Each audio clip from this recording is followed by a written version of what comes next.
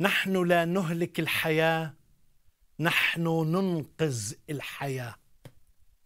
تعرفوا كل مؤمن هو مثل طبيب. الطبيب بغض النظر حتى لو عدو بحاول ينقذه إلى آخر لحظة. مش بتاخذ الحياة. نحن ننقذ الحياة.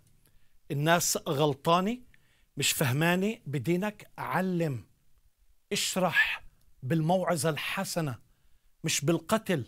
بعدين شو استفدت إنك أنت قتلت؟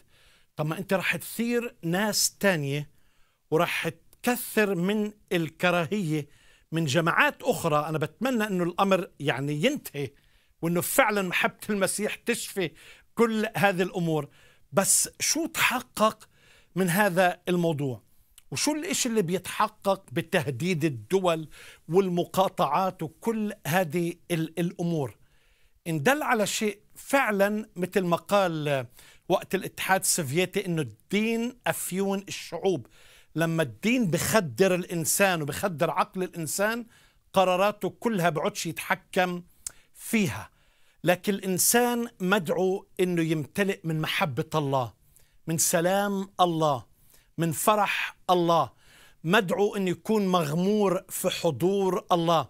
نهتم بعضنا البعض ونساند بعضنا البعض الجوعان نطعميه المريض نشفيه السجين نزوره المعذب نعزيه المقيد نحاول نفك القيود نحاول نخفف الآلام. كل واحد فينا مسؤول في هذا العالم نخفف الآلام. ما الدنيا كلها مضروبة وشايفين الكورونا وشايفين الأمراض والأوبئة. بدل ما إنه كلنا نحط إيد بإيد ونساعد بعض ونسند بعض ونحب بعض ونبني بعض وفعلا إنه كل حب ربك واخدم بلدك. يعني خليك مواطن صالح في كل معنى الكلمة. هذا اللي إحنا بنؤمن فيه كمسيحيين.